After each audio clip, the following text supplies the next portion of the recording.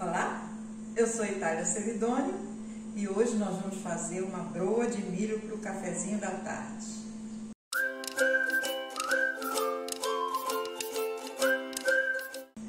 Muito bem, nós temos aqui fubá de milho, farinha de trigo, açúcar, ovos, manteiga. E eu tenho aqui leite e fermento. O leite eu vou deixar para botar aos poucos. E agora eu vou de mãozinha mesmo. Eu tava ali sem fazer nada, aí pensei assim, poxa, hoje tá chovendo, daqui a pouco vai vir uma broazinha de milho com café. Aí eu pensei nas minhas amiguinhas, aí disse assim, vou compartilhar com as minhas amigas, porque afinal de contas elas merecem. Então, faça mesmo o que eu estou fazendo e compartilhe com as suas amigas também. Não custa nada. Você bota o seu like e aí do lado tem compartilhar. E aí você compartilha com as suas amigas. Deixa de ser egoísta, viu? Você quer fazer broa de milho sozinha, é? Ó.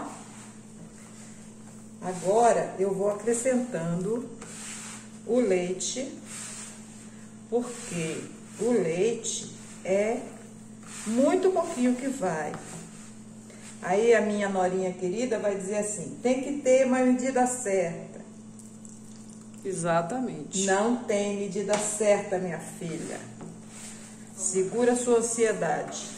E o leite é frio ou é morno? Tudo frio. Nada de morno aqui.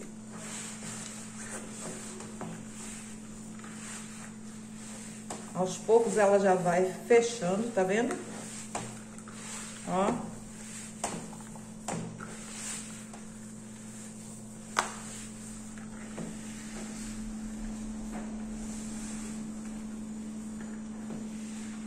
Eu acho que não vai nem só mais um trisquinho.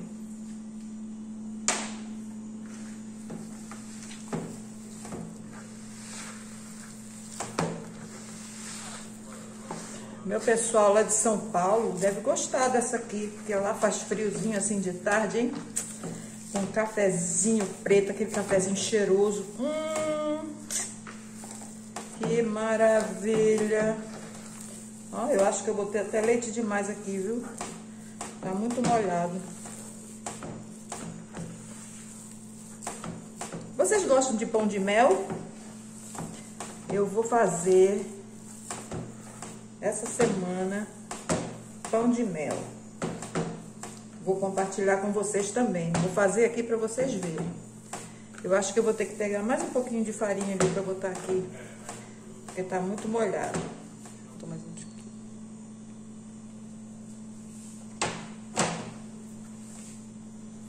Ó, botei mais um pouquinho de farinha, para ele ficar mais enxutinho.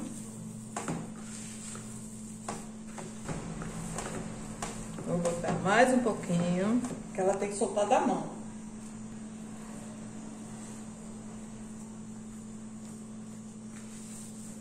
Ela fica uma massa bem, bem gostosa de trabalhar.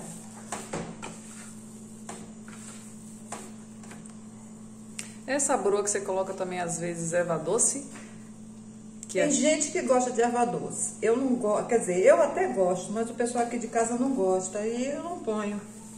Mas na receita que eu vou botar no vídeo, eu vou botar erva doce opcional.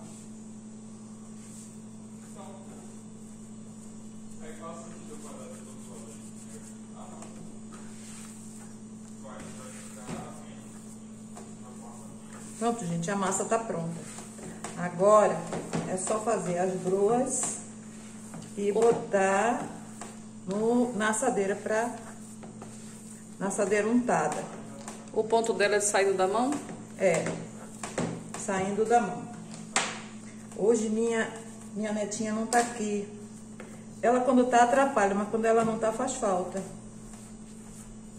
Vocês lembram do vídeo da semana passada que ela tava aqui embaixo da mesa? Pronto, ó. Tá boa de trabalhar.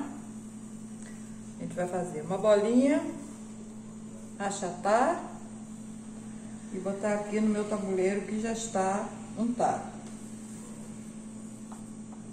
O tamanho você faz o seu gosto.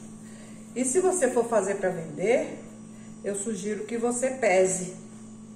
Porque aí você vai ter todas do mesmo tamanho, mesmo peso. É mais justo. Então, eu já fiz as broas. O tamanho é opcional. E agora eu vou dar uma pincelada de gema para elas ficarem mais douradinhas. Estão lindas essas broas. Vocês não se preocupem que as quantidades vão estar na descrição do vídeo. Inclusive a opção para colocar erva doce ou não. Erva doce é bem, é bem gostoso, mas é uma coisa assim que não é todo mundo que gosta. Eu não gosto. Eu acho que fica muito com gosto de erva doce. O pessoal aqui de casa não gosta. E como vocês sabem, a minha meu público aqui é exigente, né?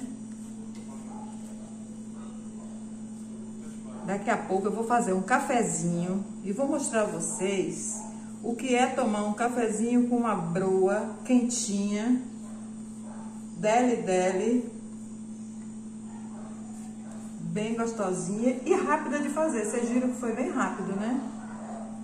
Ó, pronto. Agora eu vou botar no forno, pré-aquecido. Fica quanto tempo no forno, mais ou menos? Mais ou menos uns 30 minutos, a depender do forno. Ó, como pelo tamanho da minha bandeja, você sabe o tamanho do meu forno. Então, é difícil, né? Até já. Cheguei. Estou aqui com as minhas broas. Olhe. Ficaram lindas. Sente o cheirinho. Sentiu? Pois é. Agora, ó. Essa aqui eu fiz com vitamilho vocês, a receita pode ser com fubá. Ou com vitamilho. Ou com vitamilho. Ó. Hum. Ai, que cheirinho. Tá super quente, gente. Você viu que ela cresce bastante, né? Você pode fazer menor. Hum. Hum, tá bom?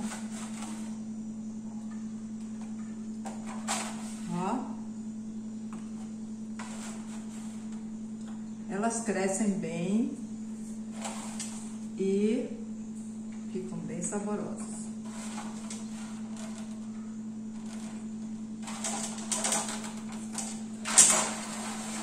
Não tô querendo botar a mão na assadeira porque tá pelando de quente.